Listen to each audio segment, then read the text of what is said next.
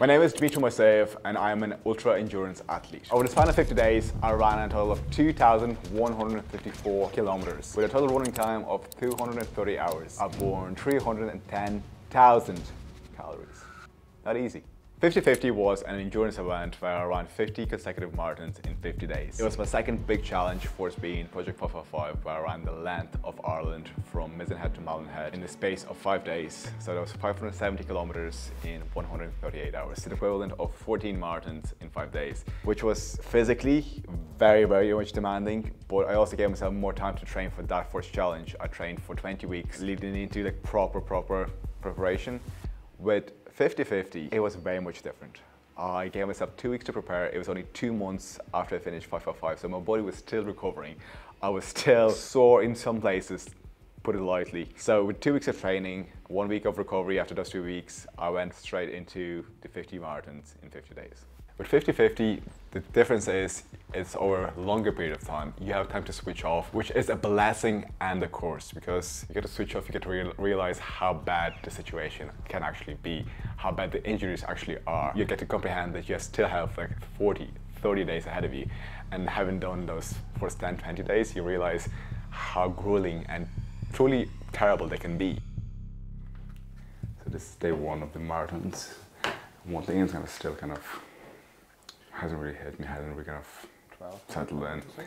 I find, like, find over the past like, few years, one thing that's helped me to kind of keep pushing myself is just have the attitude of why not. Like worst case scenario, I fail. It, it is what it is. Going as close as you can to failure. You realize that a lot of the limitations, a lot of the kind of things that you think are very much impossible, are streaming from the fact that you, you're limiting yourself, you, you have the limiting mindset based on what you think is impossible, not on what you know is impossible. Good morning people, it is the start of 50-50, day one, Martin one. Let's go.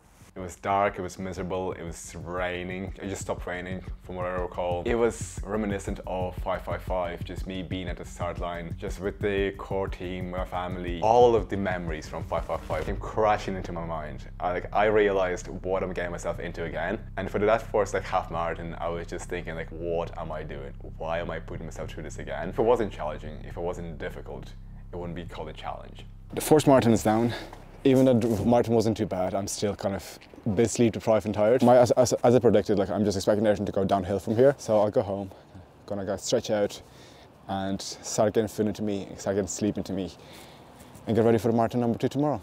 Let's go. So for anyone who has ever run a marathon, they know one marathon by itself takes a lot out of you. When I got home after my first marathon, I crashed for like three hours straight. I was just asleep. Then I got up, got some food, and I crashed again for I think it was like 10 hours or something like that until the following day. That day one made me realize that I'll have another challenge in front of me, and that is getting the food in. Because to make sure that I keep on my size, I have enough energy to keep running every single day, I have to be consuming close to six to 7,000 calories daily. Quite a lot of food for anyone who knows how much food that is. When you're running, for four to five hours a day when you are you know, traveling to those locations, when you also have to sleep to recover. That leaves you with a very limited window of time when you can actually eat. And the thing with me, at least, when I was doing those challenges, I do not want to be eaten. I don't have any appetite, which means I have to be very much force feeding myself so six to 7,000 calories a day. That meant I had to get very creative with how I got those calories in. There were days where I was eating jars of Nutella. There were days when I was eating donuts for breakfast. And it does sound fun at the start. But when you're doing those amount of calories daily for 50 days non-stop, it gets very, very tedious and actually laboring. So far, body seems to be reacting fine.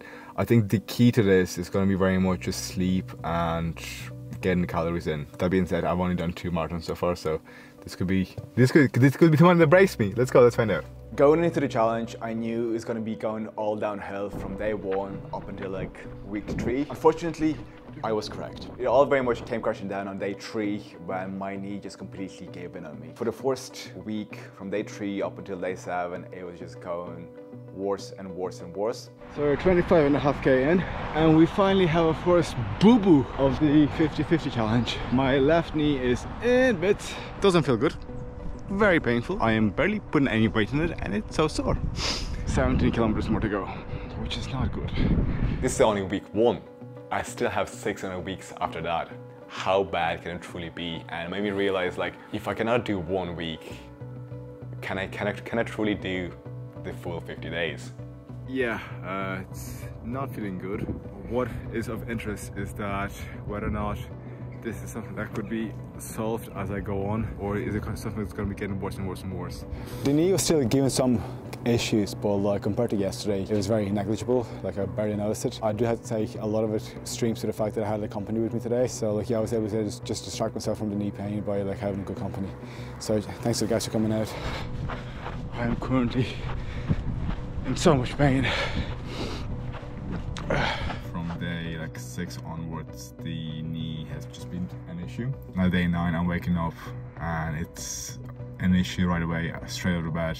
It was like having screws screwed into your kneecap from six different directions. I was not able to extend my knee. So very much for marathon three, four, and five, I was running with a bag leg, keeping my left leg completely straight to avoid any flexation on the knee. And I was just like flinging around and just doing all the lifting by, with the right leg. I was not willing to stop, and the pain going from starting off from like six a scale of 10 to close to being 10. It was so bad, I was very much convinced that was the end of me running altogether. Not just the end of the challenge, but my running and perhaps even walking career altogether. Like it is my knee that's given in me and it's just not getting better. I'm not sure if we can do the entire 50, but we can do one more day. There were times where I was not able to walk, flexing my knee in any way, shape or form. Just put too much pain onto it. Looking back, it really tested me mentally. Just knowing in advance that it was meant to be going downhill allowed me the strength to keep going, allowed me the confidence that it was part of the plan. Compared the way I was running today was to like the night of day three of the 555 challenge. That was after like we had the miraculous recovery and I was just so angry with myself. I was just back running, running. Now I wasn't sprinting today, but we did manage our like four and a half hour marathon, which is like, it's respectable. It's a respectable pace considering that my knee is still banjaxed. I'm very happy with the way it was today. If it keeps going like th like this, I'll be delighted. Small wins every day, you know. I don't want, I don't need major stuff, but just small wins every day. Baby steps. Let's go. One thing I learned from 555 was how important the mind state is. Your body will fail you, get injured, you'll be weak, but if your mind goes, that's where truly the challenge begins because your body will follow suit. If your mind is strong and it keeps pushing you, you will find a way to keep going, you will find a way to overcome, but if your mind gives in, even if your body has still not given in, it will prematurely kind of give up on you and you will prematurely quit. Day 12. Yesterday, which is day 11. I ran my fastest marathon in the past 12 days. It was around like four hours and a few minutes. So far so good. Day 15, getting it done baby. Knees are behaving now. Let's go. So when my knee went, that just meant I could not flex my knee. There was a lot of pain involved, but at least I was able to swing out my leg using my hip. When my hip went, I could not really use my hip. My entire left leg was very much taken out of action, meaning that I had to do all of the heavy lifting with my right leg. I had to move over to the grass patch as well to reduce any stress on my knees to make sure I was not hitting the asphalt as much as I was in my first two weeks. Just knowing that eventually it should get better kept me going, but so far everything was just going downhill and it was not fun. Day 19 was truly the worst day of the challenge. I honestly wasn't sure if I will be able to do day 20 once I got to the end of it. At that stage, my knee was gone, my hip was gone. The Phoenix Park was closed, so I had to do the marathon in Herbert Park, which is very small. The max loop that I could do was a K and a half, so I had to do 30 loops to get the marathon in. And because there's a bit of a slant for like uh, rain being carried away, you know, I was putting more strain on my left leg over my right leg. And about K37 of the marathon, my left Achilles just popped on me. I just could hear, like, I made a step and it was a huge, sharp pain. Day 19. We got over it, but Jesus, do we take classes on this day. I'm really hoping I'd be able to recover overnight and push through day 20. But Jesus, today was potentially like as close as I'm gonna get in terms of like questioning if I should continue or not. Day 19, you're a fucking bitch. Day 19 tested me both physically and mentally. At that stage, my knee was in shutters. It was getting slowly better, but like it was very much weak. my hip was on and off, and on that day, my Achilles went on me. I've never been as afraid to start running in my life, and it's not because of like the pain that's gonna cause me or whatever. Like I know it's gonna be painful. Like the I can still feel it right now, just in the Achilles is just very inflamed. The thing that kind of scares me the most is that it's not failing today's run. It's that my fears might be confirmed that this is where the 50-50 stops. I'm just not really ready to, to give up yet. But like I realize, like regardless of what it is, I need to start. I need to find out because like the, the longer I sit here, the situation is not going to change. I came to terms with the fact that I have to run a marathon every day. That doesn't scare me as much. It is more the fact that once I start running, the pain that's going to kick in is just going to solidify the, the, the, fear that I have that I cannot continue. It very much is reminiscent of day five of 555 where like my right leg just kind of completely gave up on me. Uh, worst case scenario, I'm bringing this tape with me and I might bring some duct tape. Whichever way it is, I'm gonna finish this now mark number 20. Even if I have to fucking crawl, I'm getting 20 done at least. Can I do number 21? Can I get to three weeks? I don't know. I, I'm, there's only one way to find out. As well as all of that, when I finished day 19, I chafed extremely, extremely bad as well. So I was going showering, I realized everything underneath was red from blood. It made me really much question, why am I doing this? What is the reason behind all of this? Should I even continue? The only person for whom this challenge truly matters is myself. And rightfully that's the case, it always should be for those kind of challenges. You should not be doing them for somebody else, you should be doing it for your own personal reasons for yourself. I knew, looking back, day 20, just I had to keep pushing. I would be more angry at myself if I didn't at least try to do day 20. If I didn't at least try to show up and even do a few K, and then if my body fully gave in to me, I was happy to stop then. I wasn't afraid of failing. I was more afraid of not trying. I was sitting at home after like I took a shower, just Googling, can you run a marathon without an Achilles? I found uh, a way you can tape up your uh, ankle to make sure that there's some support. So the following day, day 20, when I was back to Phoenix Park, I found like a route that was very much a straight, so there was uh, on asphalt. So I was able to uh, run on that. But running on asphalt with weak knees and hip, put more stress on the knees and hip. I knew I was sacrificing those two in order to improve that one. And day 20, it did, it did happen. I finished the marathon. It was not the most prettiest or the fastest marathon, but it got done. It gave me the reassurance that I can keep going. Another lesson that I learned that you never know until you try something. I was scared shitless to start the marathon today. Not because I was of the distance or whatever, purely because how my ankle and Achilles felt uh, yesterday for last 5k.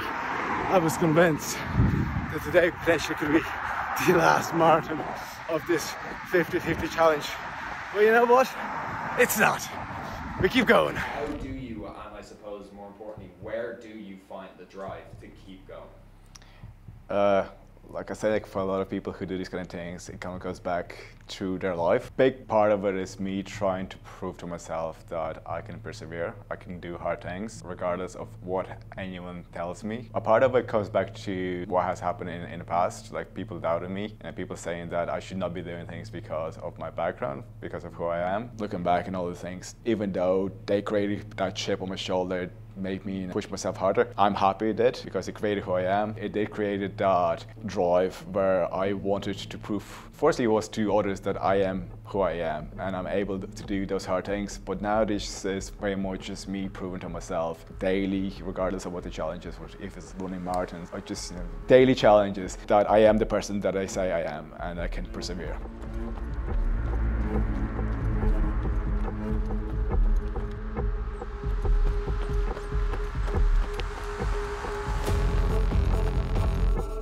Long time ago when it comes to challenges like this, like with 555 and all, like the only way I would pull out or stop it, like if you, uh, the only way I would quit is like if I'm physically I'm being dragged out like on stretchers, like um, like that's I, am gonna give it my all. Is it healthy or healthy? I, I don't care. I honestly don't care. So we have day 35 today, and then after that we have exactly two weeks until the end of the project. Let's go.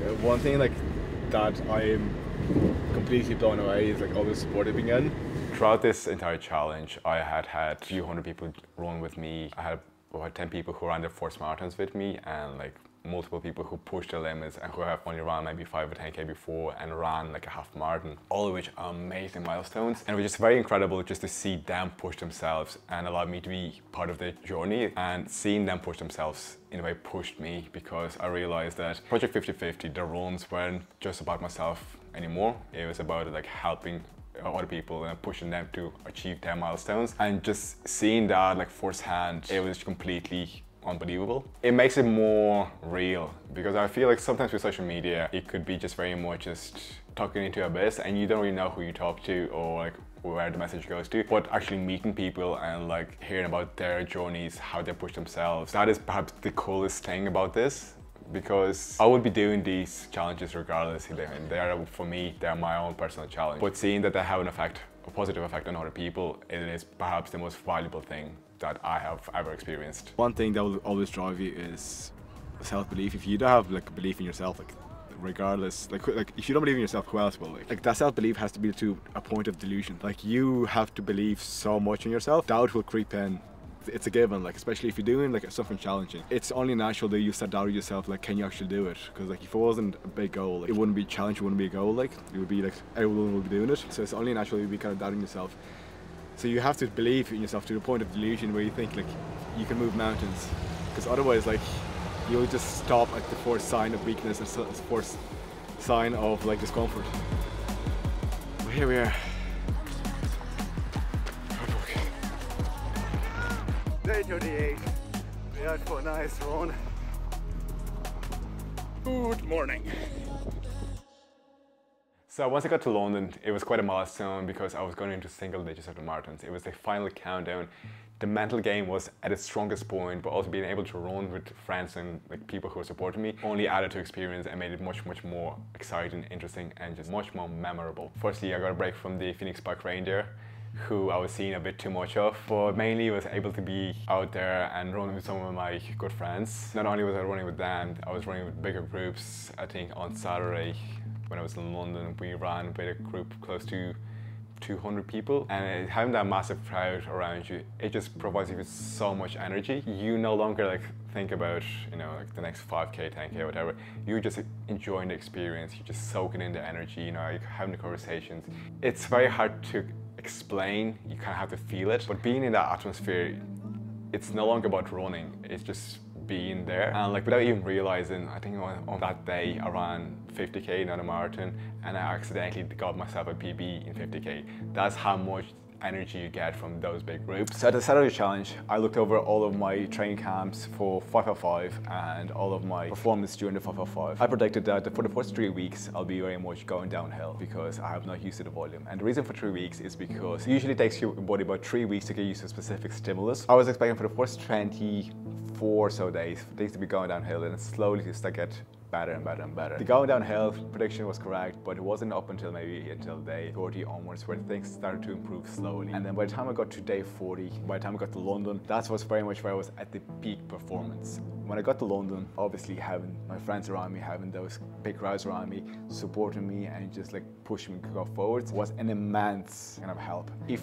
somebody told me on day like 19, but my Achilles completely went to me, which is, like, when you think about it, isn't that far back around day 40. No. If somebody told me at day 19 that when my Achilles went, when my knee went, when my hip went, that a few days down the line I'll be doing 320 splits and be running you know fast marathons again. Great to hear that, but like I would not believe you, you know. And it just goes back to you know trust the process, trust that it's going to be all fine. Even if not, the hope itself will carry you pretty pretty far by itself.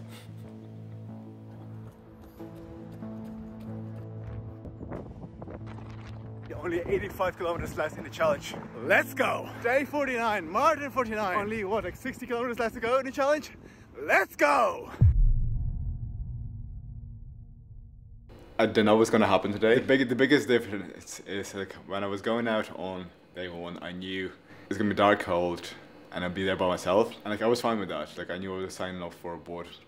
With this one, it's just like going out, I know there'll be people that will support me and like it's just much better atmosphere and mood and like I'm almost I'm looking forward to that part like you know like running marathons and like finishing the project at school but like I just didn't like starting off the project I didn't expect I'd be getting as much support as I did and I'm just very thankful for that kind of stuff yeah. I've got to run away I've got to get away. Jesus I'm speeding here.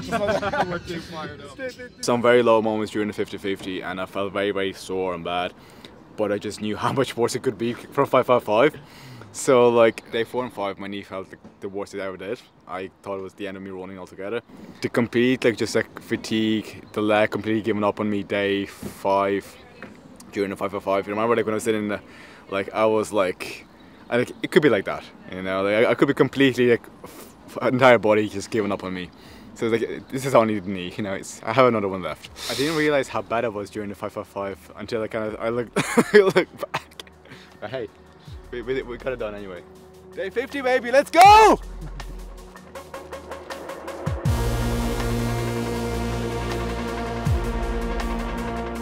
to be honest, like, I'm I, I just realized how close the finish is, and so like, we're almost there. Yeah. Last one, Last one, yeah, let's go. We have only two laps left and then a nice leisurely 4K to celebrate. Let's go!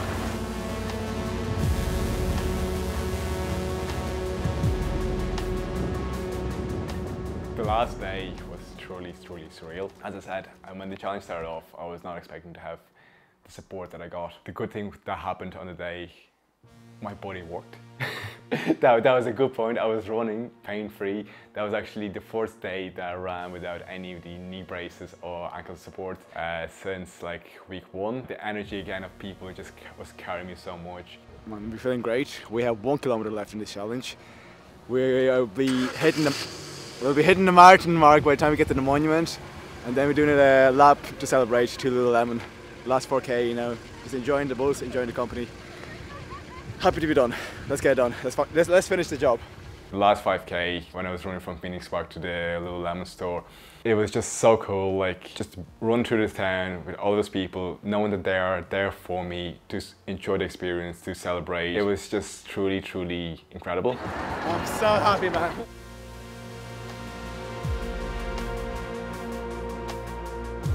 Woo! 50, baby!